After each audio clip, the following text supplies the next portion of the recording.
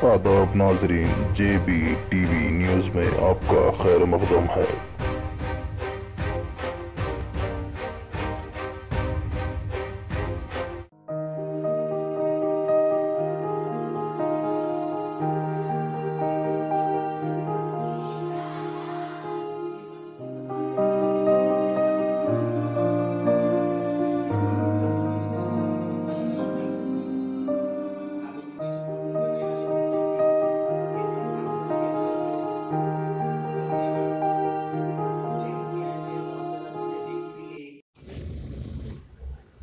People's education trust Hyderabad city president हूँ।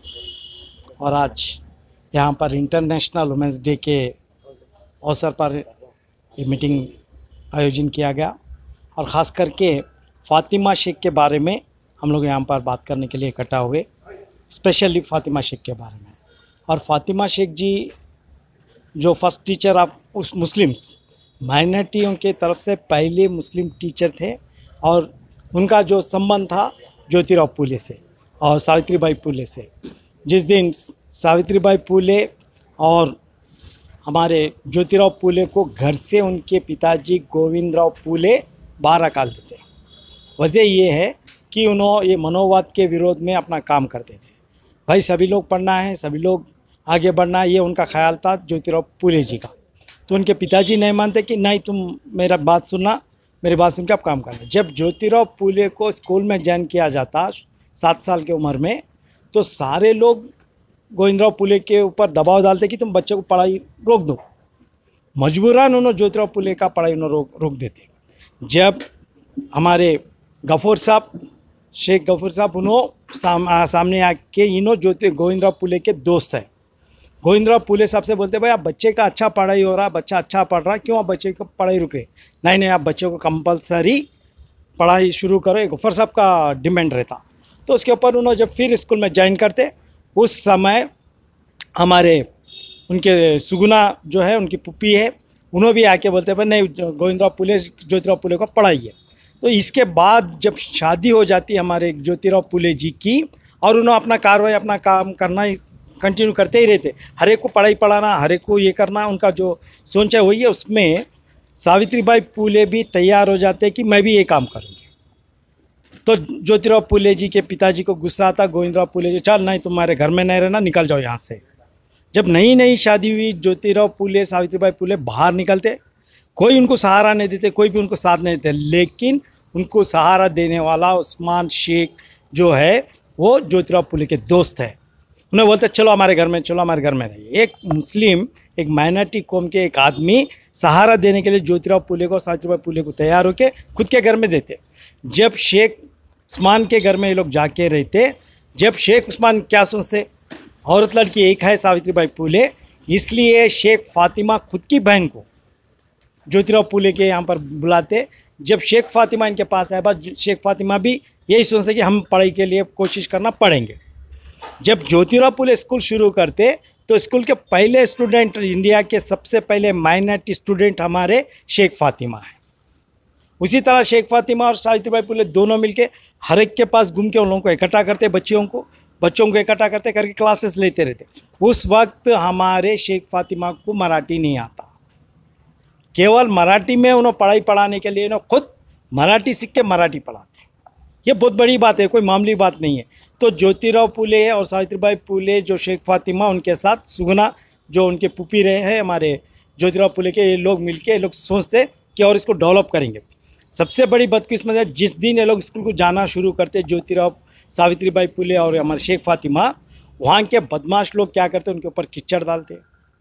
वो क्या बोलते उसको, पेंडा जो गोबर गोबर डालते, ऐसा सताते छड़म छाड़ी छड़म दुनिया के छड़म छाड़ी करते रहते। फिर भी वो लोग हिम्मत नहीं आते, जाते।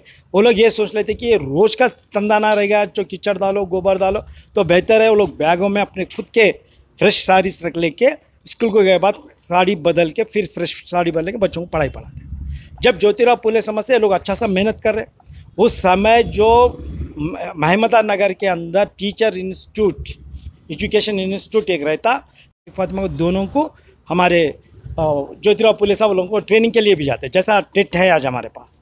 ट्रेनिंग के लिए टीचर्स के लिए। वो ज़माने में ट्रेनिंग के लिए स्कूल के ट्रेनिंग के लिए दोनों वहाँ पर पहुँचे, वहाँ पर ट्रेनिंग कर लेते, फिर पीछे आ जाते।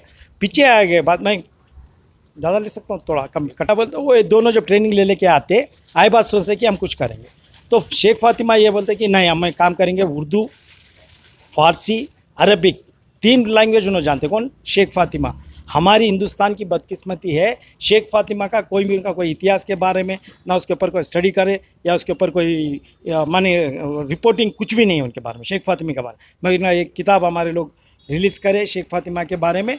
एक किताब मैं स्टडी किया।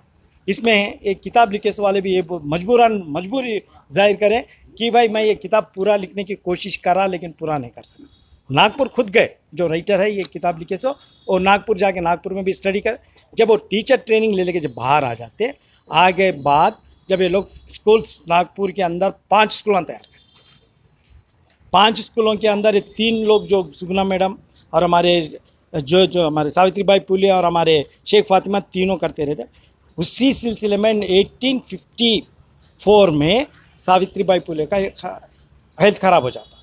जब उन्होंने घर में जाके रेस्ट लेते, कंडोला में उनके भाई रहते, कंडोला को चले आते। जब पूरा वज़न जो है, पूरा वेट जो भी है हमारे, शेख फातिमे ऊपर गिरता। हिंदुस्तान के टीचर नहीं, पहली।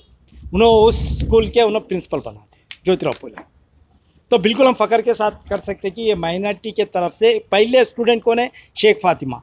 पहले टीचर कौन है? शेख फातिमा। पहले प्रिंसिपल कौन है? शेख फातिमा। पहले टीचर ट्रेनिंग लिए सो लेडी हिंदुस्तान के कौन है बोलते? शेख फातिमा है। मैं हमारे बहुत सारे बच्चे आज अटेंड करें और हमारे स्कॉलर जी भी हमारे साथ है। मैं यही अपील कर रहा था कि आप लोग स्टडी करो इसके ऊपर। इसके ऊपर कुछ किताबें लिखिए, आप भी कुछ रिसर्च करिए करके इसके अंदर हमारे मेयर ऑर्गेनाइजेशन के, हमारे खादी साहब को और हमारे ऑर्गेनाइजर्स को मैं बहुत बहुत शुक्रिया अदा करता हूँ, क्योंकि ऐसे लगाना बहुत ज़रूरी है। और दूसरी बात ये है कि आज जो महिला वर्ल्ड जो वुमेंस डे सेलिब्रेशन कर रहे हैं हम लोग। महात्मा गांधी हिंदुस्तान को आज़ादी आए जब एक ही बात बोले जो औरत आधी रात को घर को बिल्कुल सेफ़ के साथ घर पहुँच सकती उसी दिन महात्मा गांधी। जब सेफ़ हो घर पहुँचती तो ये हिंदुस्तान को सही आज़ादी मैं मानता हूँ बोल के उन्होंने बोले। उसके बाद में बाबा साहब अंबेडकर के पास हमारे सरोजनी नायडू और हमारा हारून असफ अली ये टीम मिल के क्या बोलते हैं तो बाबा साहब कहने जाके बोलते बाबा साहब, आप हमें, आप तो बहुत बड़ा सा कॉन्स्टिट्यूशन लिखे, संविधान लिखे, उसके अंदर आपके लोगों के लिए सुरक्षा के लिए लिखे। हमारे महिलाओं के लिए क्या सुरक्षा है? हमारे लिए क्या करेंगे आप? जब उन्होंने हिंदू कोड बिल जब उन्होंने तैयार करके पार्लियामेंट में सबमिट करते हैं। लेकिन उस समय जो सियासत है, आज भी वही सियासत है, कोई परिवर्तन नहीं है। वहाँ पर उनका बिल को ठुकरा देते हो।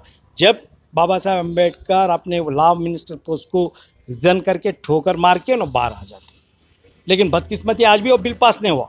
पूरा सियासत चला रहे मैं ये चाह, चाहता हूँ कि आगे चलने के लिए हमारे पास एजुकेशन बनाना है, यूनिटी बढ़ावा करना है और आंदोलन करना है। तो आंदोलन का मतलब लोग समझते संघर्ष करो, लड़ाई करो, अल्लाह गुल्ला करो, नहीं।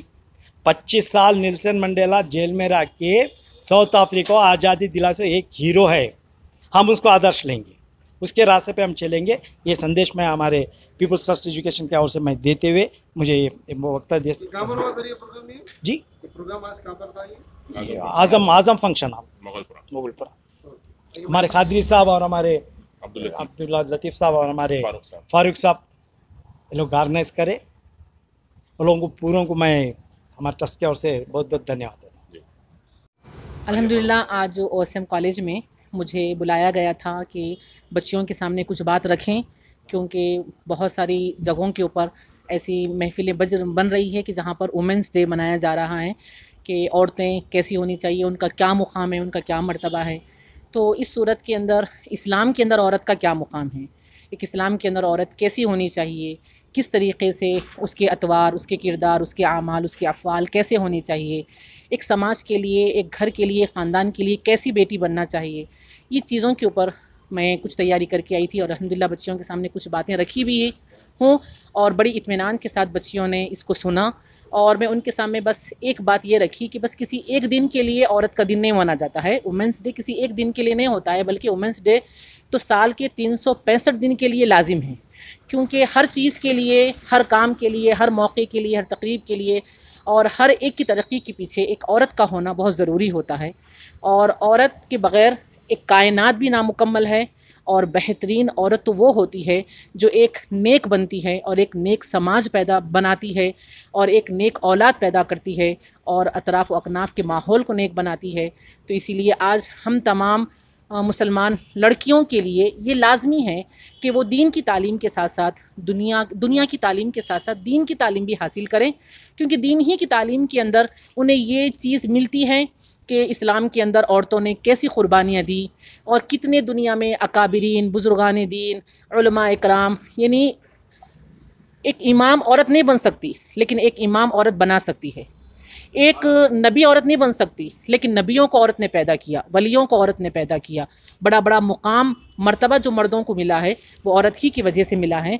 तो लिहाजा मैं ये चाहती हूँ कि मेरे इस बात के ज़रिए से हर जगह इस्लाम की तालीमात आम हो जाए दुनिया की तालीम के साथ साथ लड़कियाँ दीन की तालीम भी हासिल करते रहे और एक मर्द जब पढ़ता है तो एक फ़र्द पढ़ता है। लेकिन जब एक औरत पढ़ लेती है तो एक ख़ानदान पढ़ लेता है, क्योंकि उसके पढ़ने की वजह से उसके बच्चे अतराफ़ व अकनाफ के जितने भी लोग होते हैं, उससे सैराब होते हैं। इसीलिए एक मर्द का पढ़ना जितना ज़रूरी है, उतना एक औरत का पढ़ना भी बहुत ज़रूरी है। और औरत जब पढ़ लेती है जब वो काबिल बन जाती है तो लिहाजा सब कुछ सही और दुरुस्त होने लगता है। और अल्लाह के नबी भी ख़ुद ये फ़रमाएँ कि बेहतरीन औरत वो होती है जो नेक बनती है और नेक बनने के लिए इल्म का हासिल होना बहुत ज़रूरी होता है। तालीम ही इंसान को नेक बनाती है। जो तालीम नहीं तो नेकी भी नहीं। तो लिहाजा अल्लाह ताला सारी मुसलमान ख़वातीन और जितनी भी बच्चियाँ हैं, उन सबको दीन की तालीम हासिल करने की जस्तजू और मेहनत अता फ़रमाएँ। और अल्लाह ताला जो जो ये कोशिश कर रहे हैं, जैसे आज हमारी बच्चियों के सामने ये कॉलेज के जितने भी हजरात हैं, प्रिंसिपल है और जो मैनेजमेंट है, उनका शुक्रिया अदा करती हूँ कि मैं इस काबिल तो नहीं हूँ, लेकिन उन्होंने मुझे मदऊ किया और मैं आई और चंद बातें उनके सामने रखी। अल्लाह ताला मुझे भी तौफीक दे और उनको भी तौफीक दे। और हर कौम में, हर मिल्लत में, हर समाज में, हर महल्ले में, हर ख़ानदान में एक इमरात सालहा अल्लाह ताला बना दे। बस शुक्रिया।